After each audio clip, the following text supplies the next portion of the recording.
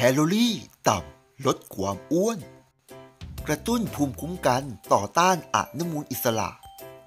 ตัวช่วยสำหรับสาวๆ กับตัวต่อต้านริ้วรอยก่อนวัย ด้วย ผักสลัด ผักกาดหอมครับ ฝากกดแชร์ กดไลค์ กด Subscribe ด้วยนะครับ และกระดิ่งแจ้งเตือนด้วย สำหรับท่านใดที่รับประทานผักกาดหอม หรือผักสลัดเป็นประจำ อย่างน้อย 3 ครั้งต่อสัปดาห์ คุณก็จะได้รับประโยชน์ที่ดีต่อสุขภาพดังต่อไปนี้ครับ ในผักกาดหอมนั้น มีสารต่อต้านอนุมูลอิสระที่สูงมาก ช่วยต่อต้านความชราและช่วยป้องกันปัญหาสุขภาพโรคมะเร็งได้ด้วย ต่อมาครับ ใช้บำรุงร่างกายได้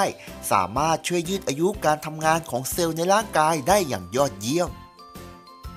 3. อุดมไปด้วยวิตามินแร่ธาตุที่สำคัญในร่างกาย สามารถช่วยซ่อมแซมร่างกายในเวลานอนได้อย่างดี และนอกจากนี้ยังสามารถช่วยบำรุงผิวพรรณและช่วยทำให้เส้นผมรวมไปถึงเล็บนั้นเงางามได้อีกด้วยครับ 4. เป็นผักที่เหมาะมากสำหรับผู้ที่ต้องการลดความอ้วน สามารถช่วยทำให้อิ่มนาน และช่วยสลายไขมันได้ โดยเฉพาะในกระเพาะและลำไส้ 5. ครับ อย่างสุดท้าย สามารถช่วยดูแลสุขภาพในระบบการรับประทานอาหาร และระบบทางเดินอาหารได้เป็นอย่างดี ซึ่งสามารถช่วยทำให้น้ำย่อยของเรามีประสิทธิภาพมากยิ่งขึ้นในการย่อยอาหาร เป็นยาระบายอ่อนๆ ช่วยขับลมออกจากลำไส้ มีส่วนช่วยทางอ้อมในการขับพยาธิและสามารถช่วยขับอุจจาระปัสสาวะ และ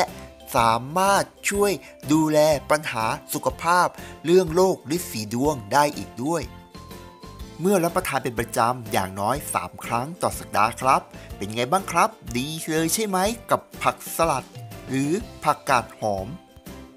กับข้อมูลในครั้งนี้ ถ้าหากคุณชอบหรือคิดเห็นอย่างไรก็ฝากคอมเมนต์ กดแชร์ กดไลค์ กด Subscribe และกระดิ่งแจ้งเตือนด้วยนะครับ สำหรับวิดีโอคลิปนี้ขอบคุณมากครับ แล้วพบกันใหม่ สวัสดีครับ